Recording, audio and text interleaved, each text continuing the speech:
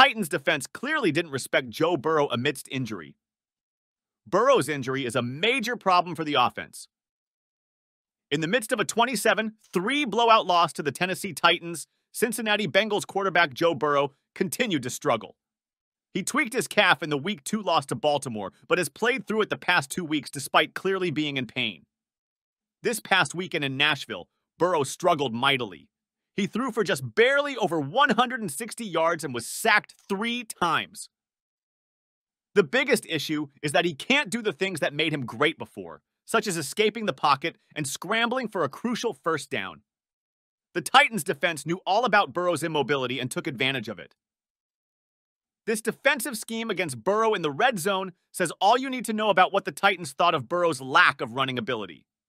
Titans knew Joe Burrow couldn't run the ball. The screen grab above indicates that the Titans knew darn well that Burrow was limited in his rushing abilities, and so they dared him to run against them. A defense isn't leaving that part of the field wide open for a quarterback who isn't nicked up. This is going to continue to be the norm for the Bengals while Burrow is dealing with this calf injury. The team needs to decide if it's worth it to continue playing him while having to use a limited playbook or if it's time to rest Burrow, throw Jake Browning out there, and open up the playbook more.